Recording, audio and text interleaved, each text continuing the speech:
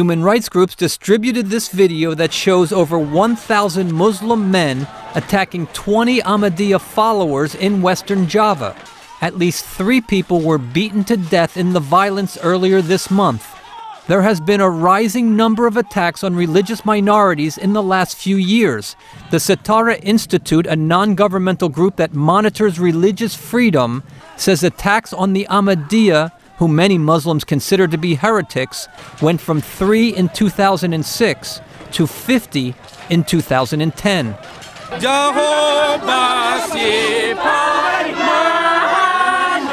Violence against Christian groups also has risen.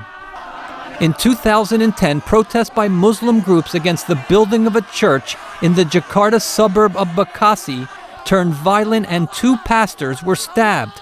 Recently, Muslim protesters attacked two churches in central Java. Human rights organizations say the Indonesian government must do more to protect minorities. Fundamentalist Muslim organizations like the Islamic Defenders Front have been accused of organizing the violence. Murhali Barda, the group's leader in Bekasi, says he supports diversity but will not tolerate other groups trying to convert Muslims or insulting the religion.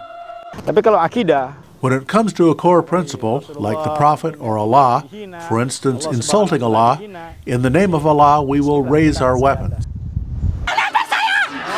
Murhali was later arrested for alleged involvement in the Bekasi violence. Political analyst Sunny Tanuwidjaja with the Center for Strategic and International Studies in Jakarta says the rise of religious violence threatens the country's democratic foundation if you allow this to flourish in, in, in the long run, it will become a security threat, whether you like it or not. Not only a security threat, but also a political threat, because it will destabilize Indonesia and it will destabilize the region. He compares the threat to terrorism. Indonesia takes strong action to dismantle Islamic terrorist groups. Abu Bakar Bashir, a radical cleric allegedly involved in deadly bombings in 2002 on Bali, now is on trial on charges of aiding a terrorist group. In contrast, the video of the attack on Ahmadiyya members shows police either unable or unwilling to stop the violence. Tanuwidjaja says while the president says he will disband groups involved in violence, he has in the past been reluctant to act because he needs the support of mainstream Islamic organizations.